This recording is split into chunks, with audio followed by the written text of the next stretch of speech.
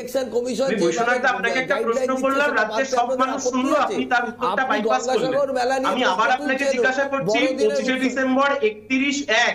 আপনারা কেন ছাড় দিলেন? কোন কারণে? এইটুকুই প্রশ্ন। রাজ্যের সব মানুষ বলছি আপনাদের নাইট কারফিউ আজ থেকে চালু করল রাজ্যের সরকার। রাজ্য সরকার পঁচিশ থেকে এক নাইট কারফিউটা তুলে নিল। কোন কারণে? কিসের জন্য? আগের বছর বললেন অন্য রাজ্য থেকে ট্রেন আসলে করোনা এক্সপ্রেস আসছে। এবছরে আর করোনা এক্সপ্রেস নেই। আমরা বলছি একটা তো নির্দিষ্ট নীতি আছে বলুন। আপনি বলুন আমরা শুনছি। উৎসবে ছাড়টা কি কারণে দিয়েছিলেন যাতে কোভিডটা বাড়বে তারপর যে আপনারা চেক করবেন? মানুষের যে উৎসাহ আপনারা কি চাইছেন? আপনারা আপনারা কি আপনারা কি চাইছেন? যে নির্বাচনগুলো যদি করোনা বিধি নিয়ে হয় করোনা বিধি মেনে হয় আপনাদের তাতে আপত্তি আছে? ই মনে করেন? তার মানে কাউকে আমার মনে করাটা বিষয় নয় আমি বলছি অভিষেক না, আপনি কি মনে করেন যে উৎসবের দিনগুলিতে আপনি করেন যে না আপনি তো বলুন, সেটা আপনি ছবি চাইলে বলুন, আমি দেখাচ্ছি। আপনি তো আলোচনাটা কি আজকে ডায়মন্ড হারবার নিয়ে হবে? আর পঁচিশ ডিসেম্বর একদমই নিয়ে হবে।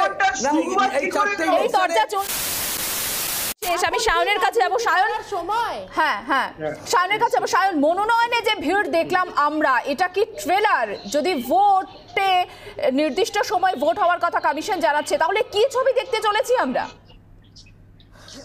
নাকি আমি অনেকগুলো পয়েন্ট এখানে রাখতে চাই। প্রথম কথা হচ্ছে আজ থেকে মাত্র কয়েকদিন আগে আপনার শোতেই আমরা সন্ধ্যাবেলায় বসে আলোচনা করছিলাম গঙ্গাসাগর থেকে আমাদের রাজ্যের মাননীয় মুখ্যমন্ত্রীর একটি স্টেটমেন্ট নিয়ে।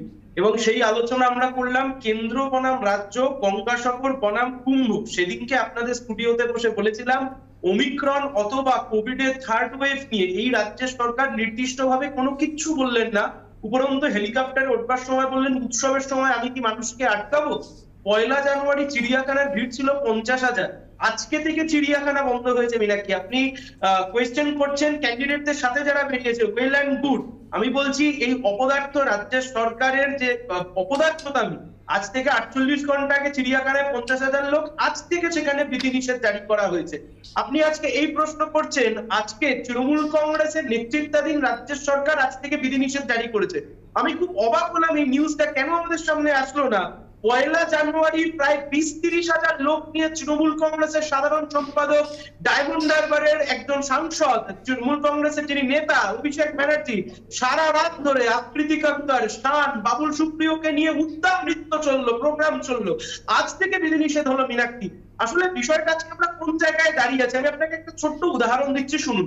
রাজ্যের অ্যাডভোকেট জেনারেল আজ থেকে কয়েকদিন আগে কলকাতা কর্পোরেশনের নির্বাচন সংক্রান্ত যে মামলা সেখানে উনি দাঁড়িয়ে বলেছিলেন, কলকাতাকে আমরা প্রায়োরিটি হিসেবে বেছে নিয়েছি, তার অন্যতম কারণ কলকাতার health system is up to mark অর্থাৎ কলকাতায় যদি কোভিড এর ওয়েভ আসেও, কলকাতায় সেই ইনফ্রাস্ট্রাকচার আছে যেখানে কোভিডকে ঠেকা দেওয়া যায়, এটা আমার কথা নয়, এটা অ্যাডভোকেট জেনারেলের কথা।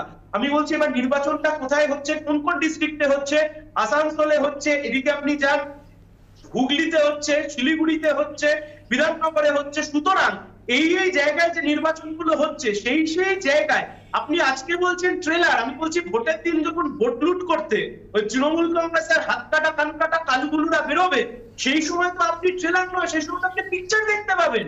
বৈশ্বনাথ তাদের তো অসুবিধার বিষয় নেই, বৈশ্বনাথ তারা কেন প্রচার করতে যাবে? ওরা ভোটের দিন পাঁচ, দশ জনকে নামিয়ে দেবে, পাশের জেলা থেকে ভিড় জড়ো করবে, ভোট লুট করবে, ভোট লুট করে ভোটে জিতবে।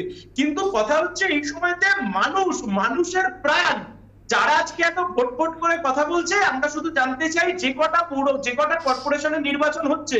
এর মধ্যে সবচাইতে পুরানো কর্পোরেশন যেখানে long due long pending that is Howrah corporation Howrah কর্পোরেশনের নির্বাচন নিয়ে কোনো কথাবার্তা নেই কারণ রাজ্য সরকারের সেটা অন্য একটা বিষয় সায়ন সেটা অবশ্যই আজকের আজকের এই বিষয় না সায়ন আমি আসছি please, please, let me complete, let me- let me complete, দশ এক সেকেন্ড, second। দশ সেকেন্ড। ওরা ভোট করতে ওরা ভোট করতে এতটাই আগ্রহী যে অ্যাডভোকেট জেনারেলকে দাঁড় করিয়ে মিথ্যা কথা বলালেন ভোটের মাঝখানে আমরা বলছি কোভিড এর এই সিচুয়েশনে মানুষের জীবনকে বিপদের মুখে ঠেলে দিয়ে রাজ্যের সরকার যে নিয়ম নীতি নিচ্ছে তা বিভ্রান্তকর অপরাধ আমি উত্তর নেব বৈশানু বেশ সায়ন এক মিনিট সময় বিড়ালের গলায় ঘণ্টা কে বাঁধবে?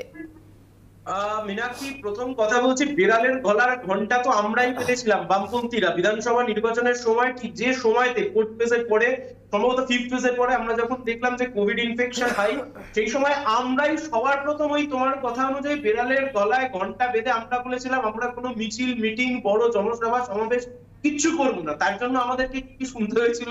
সিপিএম এর মিটিং এ লোক হয় না সেই জন্য ওরা মিটিং বাতিল করে দিচ্ছে। বামপন্থীদের ঝান্ডা ধরার লোক নেই তাই জন্য মিটিং বাতিল করে দিচ্ছে।